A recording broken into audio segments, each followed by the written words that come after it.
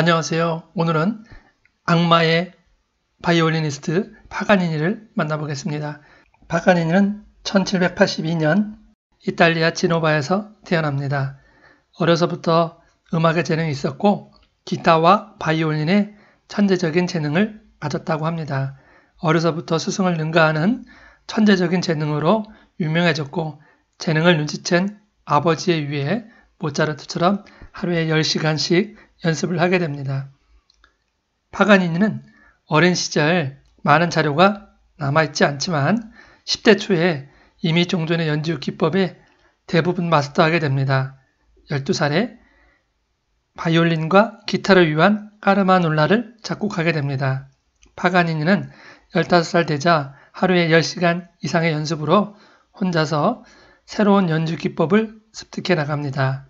그의 노력이 결실하여 1799년 17살에 북부 이탈리아 지방에서 열광적인 환영을 받아 곧 명성과 부를 얻게 됩니다. 그러나 빠른 성공으로 자만에 빠진 파가니니는 방탕과 도박에 빠져 건강을 해치고 거액의 빚을 져서 결국 연주에 필요한 바이올린마저 팔게 되는 파국에 이르고 말았습니다. 1801년부터 1804년까지 한 기부인 토스카나에 있는 그네 성에서 동고 생활을 하게 됩니다. 그동안 연주회를 열지 않았기 때문에 많은 소문이 있었지만 이 기간 동안 건강을 회복하면서 바이올린 새로운 주법을 연구하게 됩니다. 1804년 24살에 고향 제노바로 돌아와 다시 연주 활동을 하게 됩니다. 이전보다 더한 인기를 얻었고 그 명성으로 나폴레옹 누이 동생 엘리자에게 초대되어 루카 궁전 가극장에서 3년간 지휘 생활을 보내게 됩니다. 나폴레옹 여동생은 파가니니 연주를 들을 때마다 졸도했다는 일화가 남아 있습니다. 특히 음악가 리스트는 파가니니 연주회를 보고 감동하였고 나는 바이올린은 죽었다 깨도 파가니니만큼은 연주할 수가 없다 생각하고 피아노의 파가니니가 되겠다고 마음먹었다 합니다. 파가니니의 현란하고 화려한 연주 스타일, 그가 작곡한 독특한 음악, 연주를 듣는 모든 이들에게 많은 감동을 주었고 헌출한 키에 잘생기고 카리스마 있는 외모에 신들린 것처럼 바이온을 켜기 시작하면 많은 여성들이 연주에 홀려서 실제로 졸도하는 일이 많았다고 합니다. 이때부터 파가니는 악마에게 영혼을 팔아 바이온 주법을 얻었다라는 소문이 나서 파가니니 연주를 하기 전에 무대 뒤 앞에 악마가 있는지 확인하는 소동도 벌어졌다고 합니다. 파가니니가 다섯 살때 어머니가 꿈을 꾸는데 연기 자욱한 극장 안에 아들 파가니니가 따르티니 지휘 아래 연주를 하고 있습니다. 그런데 갑자기 기타를 든 붉은 악마가 나타나더니 따르티니와 악마가 파가니니 영혼을 뺏으려고 실랑이를 벌이고 있습니다. 이따 천사가 나타났고 어머니는 천사에게 훌륭한 바이올리니스트가 되게 해달라고 기도합니다. 그러자 천사는 어머니의 소원을 들어주겠다는 꿈을 꾸었다 합니다. 파가니니 또한 생전에 이 이야기를 많이 했다고 합니다. 세비야 이바스를 쓴 로시니는 이렇게 파가니를 설명합니다. 나는 평생 세 번밖에 울지 않았다. 첫 번째는 나의 첫 오페라가 실패했을 때, 두 번째는 선상에서 뱃놀이를 하면서 식사를 하는데 실수로 점심으로 나온 칠면조 요리를 배 밖으로 떨어뜨렸을 때, 세 번째는 파가니니의 바이올린 연주를 들었을 때, 파가니니 연주가 얼마나 훌륭한지 설명해 주는 자료들입니다.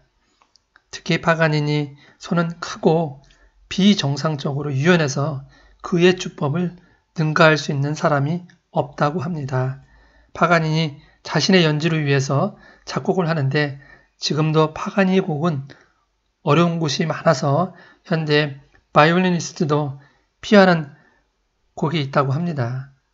1808년 26살 때부터 1828년 46살까지 20년간에 걸쳐 이탈리아 각지로 연주 여행을 하였으며 종전의 바이올린 개념을 훨씬 초월한 기법을 보여주었고 청중에게 큰 감명을 주었습니다.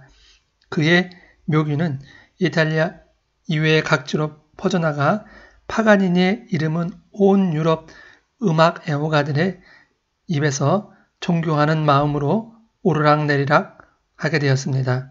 1828년 파가니는 처음으로 국외 연주여행을 하게 되는데 3월 말 빈에서 대성공을 이루었고 파가니니의 이름을 팔아 상점마다 파가니니 스타일이라는 양복, 모자, 장갑, 구두 등이 범람하였습니다. 당시 파가니니 연주회를 슈베르트가 듣게 되는데 돈이 없어서 자기가 갖고 있는 책을 팔아 연주회를 들었다는 기록이 있습니다. 다음에 1829년 베를린에서도 성공을 거두었고 파가니는 독일 각지를 순회한 끝에 폴란드로 갔고 다시 프랑스 파리 이어서 영국으로 건너가 가는 곳마다 열광적인 환영을 받게 됩니다. 1832년 가을 5년 걸친 연주여행을 끝으로 귀국하여 북부 이탈리아 파르마에 정착하게 됩니다. 말년에는 이탈리아와 프랑스를 왕복하면서 연주 활동을 하게 되었고 프랑스의 앞보상이 그가 작곡한 작품을 출판하려고 했으나 파가니니가 요구하는 인세가 너무 높아 출판은 진척이 안 되었고 결국 파가니니 생전에 작곡하여 출판된 작품은 극히 적었다 합니다. 더욱이 출판된 작품이 적은 것은 파가니니가 자기 연주 기법이 공개되는 것을 좋아하지 않았다고 합니다. 파가니니에게는 아들이 하나 있었는데 아들 아킬레를 끔찍히 사랑합니다. 소프라노 가수 비앙키와의 사이에서 낳은 아들이었고 비앙키와 헤어지면서 막대한 돈을 지불하면서 아들의 양육권을 가져옵니다. 연주 여행을 할 때 아들을 데리고 다녔는데 아들의 편안한 안식을 위해서 호텔에서 묵지 않고 주택 같은 펜션에 많이 머물렀다고 합니다. 아들의 신분 상승을 위해서 많은 노력을 했고 유산도 많이 남겨주었다 합니다.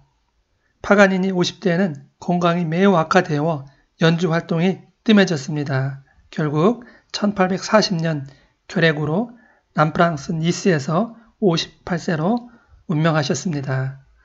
하지만 니스에서 파가니니는 악마에게 영혼을 팔았다 해서 유해를 받아주지 않았습니다. 그의 아들의 열정적인 노력으로 그가 죽은 지 오랜 세월 후 이탈리아 파르마에 있는 성당의 묘지에 안치가 되었습니다.